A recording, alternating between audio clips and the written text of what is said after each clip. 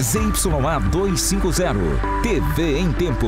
Uma emissora do Grupo Raman Neves de Comunicação.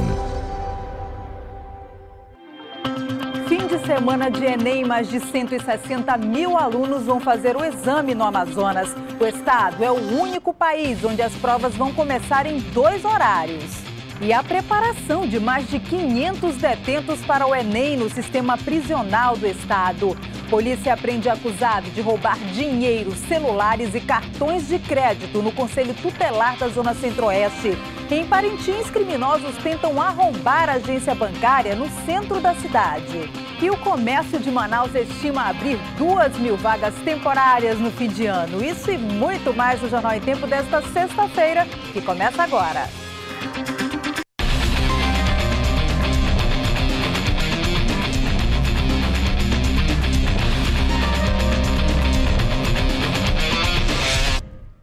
Olá, boa tarde. A polícia prendeu um jovem de 19 anos suspeito de roubo. Ele e dois adolescentes teriam entrado no prédio do Conselho Tutelar e roubado celulares, dinheiro e cartões de crédito. Os menores foram apreendidos.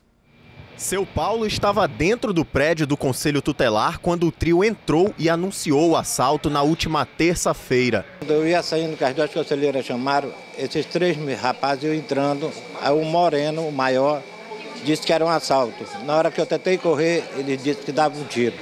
Vai me parar e sentar. Eu fiquei sentado e os dois menores eram que faziam tirar o celular, dinheiro de todo mundo lá. A polícia chegou até Luan Martins, de 19 anos, e os dois adolescentes, um de 15 e um de 17, depois que eles foram reconhecidos pelas vítimas nas imagens de segurança do Conselho Tutelar. Depois de identificados, os três foram encontrados no mesmo bairro do crime. A gente recebeu notícia de que o Luan estava na casa dele, deram um endereço aproximado e a gente sabia que poderia encontrar a arma utilizada no crime a droga foi uma apreensão circunstancial, apesar de a gente saber que esses, essas, essas pessoas também têm envolvimento com a traficância. E os menores foram apreendidos na, nas suas respectivas casas. Com Luan, a polícia apreendeu uma porção de maconha, oxi, celulares, munições e uma arma de calibre 38 com a numeração raspada. Ele vai responder por tráfico de drogas, porte ilegal de arma de fogo de uso restrito e roubo.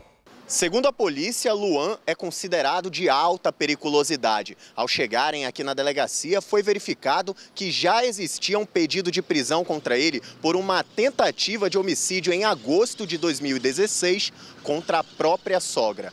Mas não parou por aí. Ele também deve ser indiciado pelo crime de estupro de vulnerável, por ter como companheira uma adolescente de 13 anos. Ele é o, é o mentor intelectual de, desses crimes contra o patrimônio aqui. É, não raro, a, regimenta menores para a prática desses crimes. Vocês podem perceber, ele praticou o crime com dois menores de idade, um de 17 outro de 15. E ele também já responde a outros crimes aqui. Os dois menores foram ouvidos e encaminhados para a delegacia especializada em apuração de atos infracionais. E um homem foi morto a tiros ontem à noite na Cachoeirinha, zona sul de Manaus. A suspeita é de acerto de contas pelo tráfico de drogas. Diego Pablo da Cunha, de 29 anos, foi morto alvejado com três tiros de arma de fogo na região da cabeça e lombar.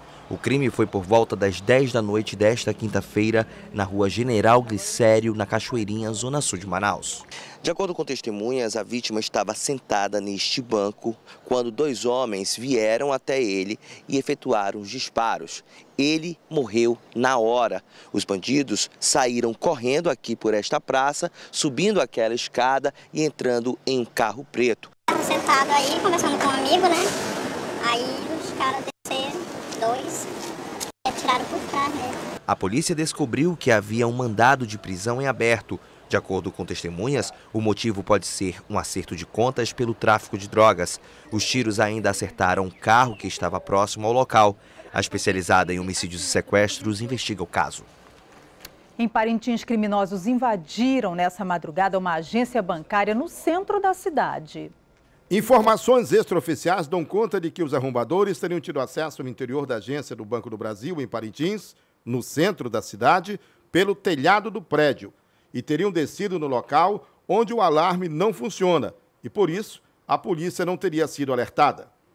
Agora há pouco, homens da Polícia Militar, investigadores da Polícia Civil e investigadores do Serviço de Inteligência da Polícia Militar estiveram aqui na agência do Banco do Brasil. Os investigadores procuram por pistas que possam levar aos arrombadores do prédio. Sem gravar entrevistas, o gerente da agência do Banco do Brasil em Parintins, Rogério Calda, disse que os arrombadores não levaram dinheiro. Apenas três revólveres calibre 38 da empresa que faz a segurança do banco. O gerente disse que o atendimento ao público foi suspenso por conta do arrombamento. No próximo bloco, o avião de pequeno porte derrapa e sai da pista durante a decolagem em Canutama. Os cinco passageiros tiveram ferimentos leves. E o comércio estima abrir duas mil vagas de trabalho temporário no fim de ano. É o que você vê depois do intervalo.